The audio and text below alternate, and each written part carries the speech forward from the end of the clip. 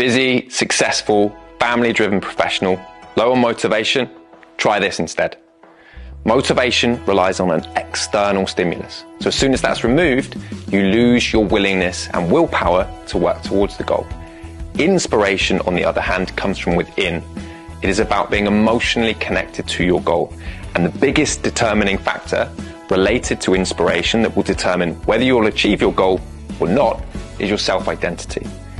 In his book, Psychocybernetics, Maxwell Maltz talks about, as a plastic surgeon, how some people would transform after the surgery and other people just wouldn't. This was because the people that transformed were the people that had visualized who they were going to become, were emotionally connected to that new person. So, if you're struggling to put in place the change that you want and commit to it, try these three things. Get very clear on what the change is, emotionally t- connect to that change, and then repeatedly optimize the process by reflecting back on how important it is to you.